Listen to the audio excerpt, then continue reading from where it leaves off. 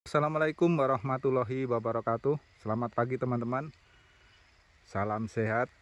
Dan pagi hari ini kami akan melanjutkan pemangkasan Pohon durian Yang kemarin kami lakukan pemangkasan namun masih uh, kurang mepet cara kami memotong Sehingga pada pagi hari ini kita akan potong kembali Supaya bekas potongannya ini akan mepet batang sehingga uh, kami berharap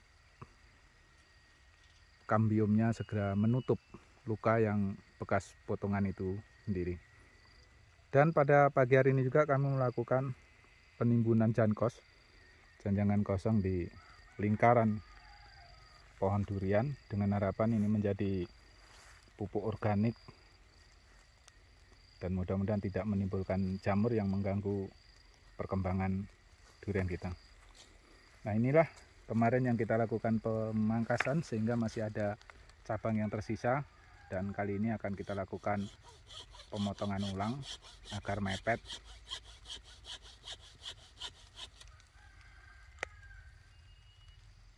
batang, mepet batang sehingga luka daripada potongan ini segera sembuh. Seperti itu. Agak dihaluskan lagi mas. Dari atas. Ke yang sana ujung sana. Nah gitu. Nah seperti itu teman-teman. Dan juga ada beberapa pohon kemarin yang kita lakukan pemangkasan dan masih perlu pemotongan ulang.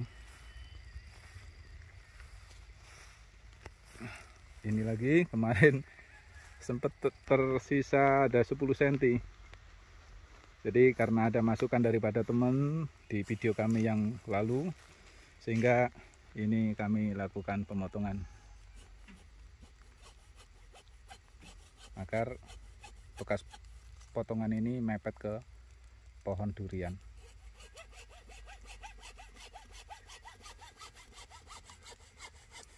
Kemarin harus melakukan pemangkasan walaupun cabangnya agak besar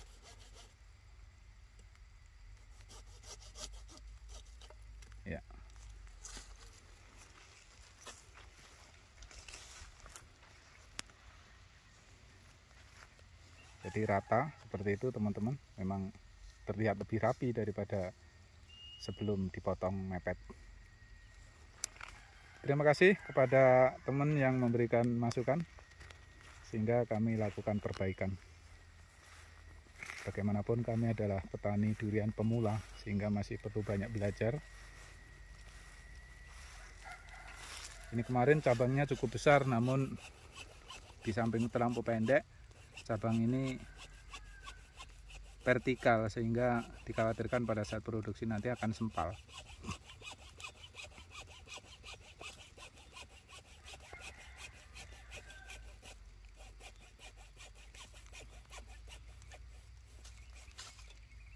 Gajinya ya kurang sipnya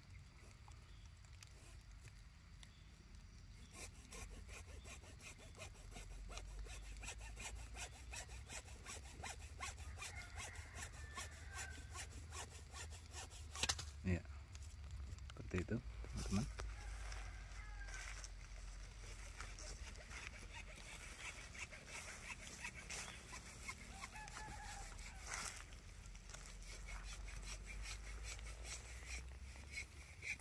Dan ini adalah janjangan kosong. Limbah dari pabrik kelapa sawit. Ini kita buat menimbun bekas galian untuk mengemburkan lahan ini dengan harapan menjadi pupuk. Dan karena jangkos ini juga bisa menahan air di kala musim hujan sehingga kita harapkan durian ini akan tumbuh dengan subur. Tapi ini masih uji coba jangkos ini barangkali mudah-mudahan tidak ada masalah. Bisa kita lakukan penimbunan dengan jangkos di semua pohon yang ada.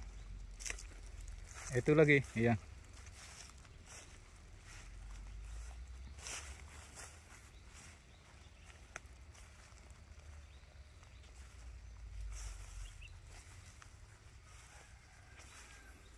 ini durian ini kami tanam di bulan November 2020 dengan ukuran bibit kurang lebih 2 meter bibit dongkelan.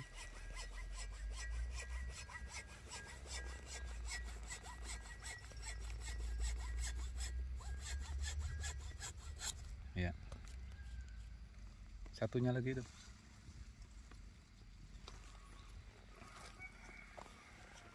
dua-dua potong aja itu yang bekas yang kering itu pun potong aja. Mepetkan aja itu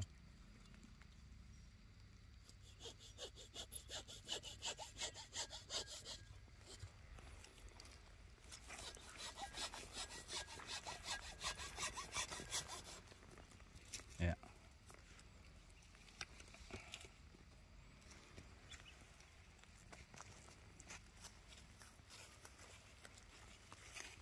ini adalah jenis bibit bawor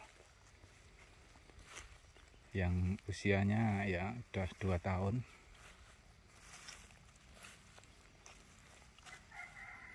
Ini percabangannya lumayan bagus dan batang utamanya terlihat kokoh.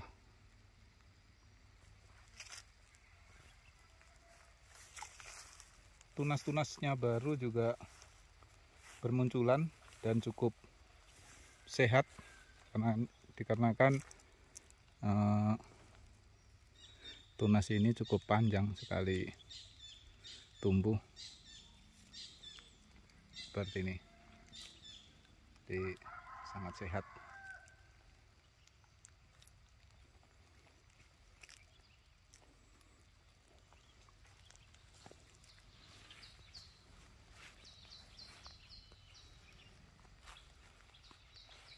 hampir semua muncul tunas baru teman-teman. Dikarenakan di tempat kami ini sekarang lagi uh, lagi musim hujan sehingga air tercukupi untuk kebutuhan durian ini. Terima kasih teman-teman. Semoga video ini bermanfaat dan tetap kami mengharapkan saran dan masukan daripada teman-teman supaya kami selaku petani durian, petani pemula dapat memperbaiki uh, demi menanam, merawat durian dengan baik. Terima kasih. Assalamualaikum warahmatullahi wabarakatuh.